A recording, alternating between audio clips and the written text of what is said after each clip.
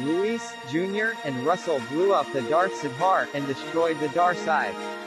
Or so they thought. This army, I will call it, the Dhar Mann Fam.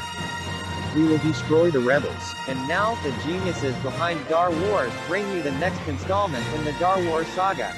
Luis, you must go to the swamps of Louisiana to learn from the master Romario Facey. Continuing the story of our heroes. Luis Mercado. Russell. Jr. Generation Hope. And other people, you just have to see it.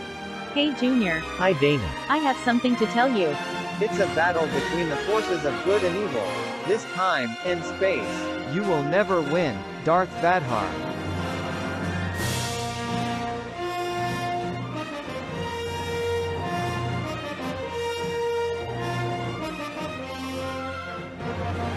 An amazing adventure for the ages.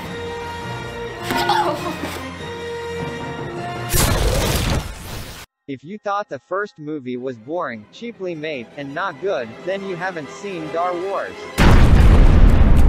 The Dhar Mann Fam strikes back.